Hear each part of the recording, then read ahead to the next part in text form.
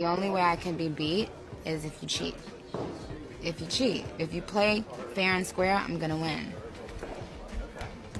I mean, Daughter, hmm. who's the queen of rap? Rap. Say Nicki Nikki. Minaj. Nash. Mommy's favorite rapper.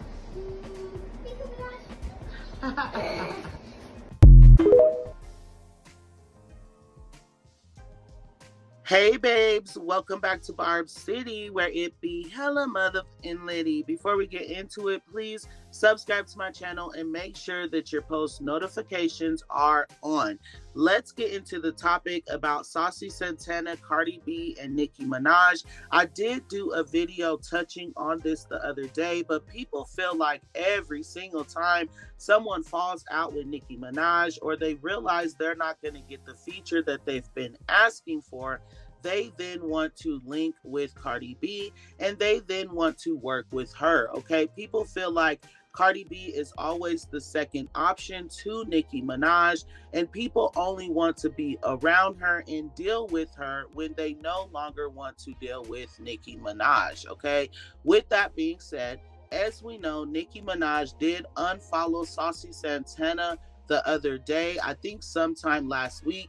And when that happened, Twitter went crazy because we've been waiting for this. Anyways, um, someone tweeted and said, Nicki just unfollowed Saucy Santana. Catch Cardi name dropping him on IG Live and then doing a collab with him months later. So, as we know, they have not mentioned each other. Maybe they shown a little bit of love to each other's songs, but Saucy Santana and Cardi B never had like a real relationship, right? But as you can see here on um, Cardi B's IG story, you guys, she did link up with Saucy Santana.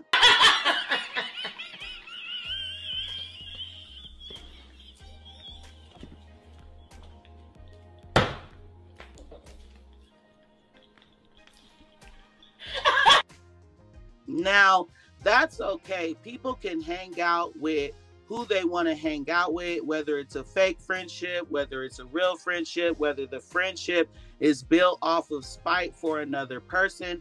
But what people are more questioning is the fact that Saucy Santana disrespected Cardi B's child. Okay.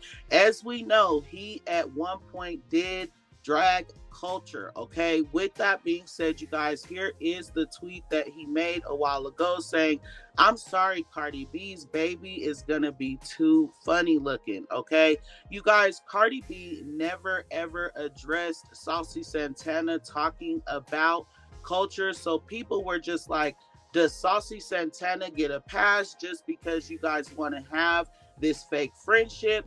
Or what's going on because there's been people before Saucy and after Saucy that she has dragged to filth for disrespecting her child. So again, people are just wanting to know why does he get a pass and what makes you want to hang out with somebody that's disrespected your child, okay? With that being said, what people also notice is that Nicki Minaj did catch wind of this situation and she obviously agrees. So if you look at this post that Nicki Minaj put on her IG story of the picture of Natalie Nunn is matching the picture that you see in this post right here when the person said that Cardi B was going to name drop him on her IG live and then do a collab with him. So we found that really funny as well. But here were some of the comments.